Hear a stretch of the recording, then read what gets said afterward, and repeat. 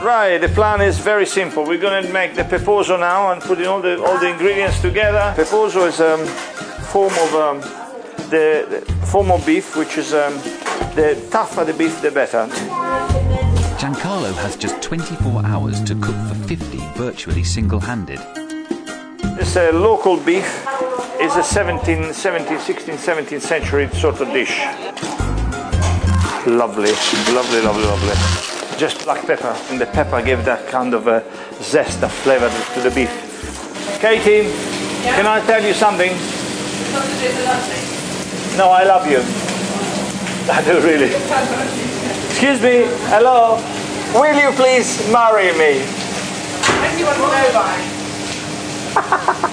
by the 3rd of June. Alright, I'll let you know. okay. Love and cooking seem to have mended Giancarlo's mood. Cha, cha, cha. Hey. Okay, do you want to try? Let's have a cappuccino, typical English cappuccino. It's one of Luciano's.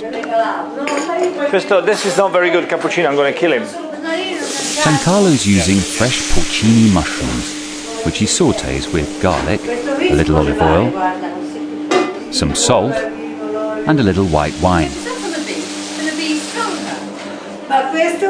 Quite a lot of wine has by now gone into Patrizia. Si balla? Sì, sì, but Giancarlo attempts a hands-on strategy for coping. Balliamo nella cucina, balliamo nella cucina, nella cucina. E poi...